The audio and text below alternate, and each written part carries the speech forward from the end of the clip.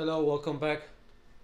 Today uh, we're going to try to get as much efficiency as it's possible from this uh, half inch, I'm sorry, half horsepower uh, uh, motor.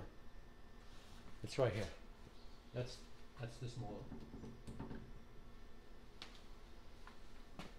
So we got an 8 inch aluminum disc uh, with magnets attached to it. Uh, we got some copper bars on the top of it, about half inch, a little bit more than that.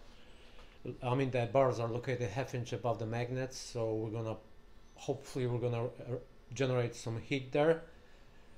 Um, on the right side, right here, that's a that's a small uh, 12 volt circulating fan, inline circulating fan this will blow the air over the copper bars and hopefully we're gonna get uh, a lot more hot air coming over here.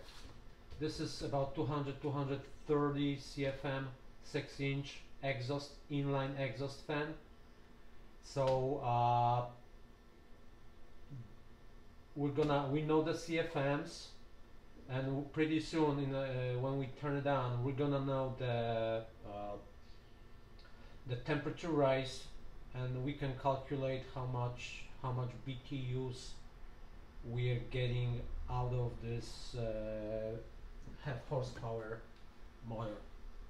Because we know right now the half half horsepower motor pulls about 350 let's say 400 uh, 400 watts of energy then we can calculate it to uh, BTUs each watt each each watt is equal to uh, 3.41 uh, BTUs so basically out of the uh, out of the plug we're getting about uh, let's say for easy math 1400 1400 BTUs and hopefully because of the magnets and the span we can generate some extra heat. And also I forgot to mention we're gonna be using the heat generated by the motor itself. And that's why that's why this this fan is located over here. So basically there's an opening at the at the bottom of this duct. That's a basically that's a duct 12 by 8 capped from both sides at the end of this uh, at the end of this uh, duct right here there's a cap. In this cap I have an opening 6 inch opening. Basically what I'm trying to do I'm trying to use that heat generated by that motor. I'm gonna use I'm gonna pull the air this way. There's an opening. The air the you know the cold air will go through the hot motor get some heat out of it. Plus we're gonna generate some heat on those uh, copper bars this will help to get the heat out of them and hopefully we'll get much more higher temperature on this side. And just like I mentioned uh, we can uh, easily calculate the BTUs after you know after we turn it on.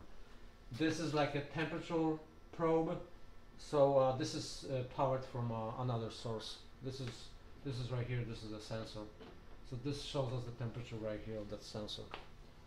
So uh, that's it I guess. Uh, let me close it up because it has to be closed in order for uh, uh, for the motor to get proper cooling. So let me close it up and uh, I'll see you on the other side. All right. We're ready to go.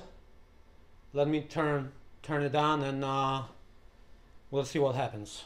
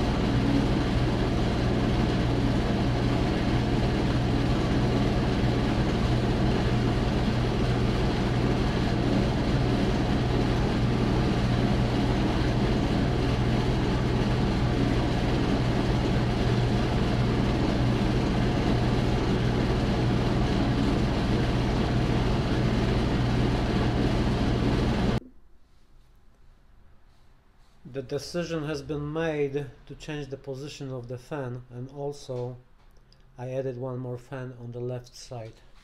This is like a small computer fan about 5 to 10 watts of power and uh, we'll see we'll see what's gonna happen now. As you can see we were able to heat up the, the air temperature to about 82 maybe 83 degrees.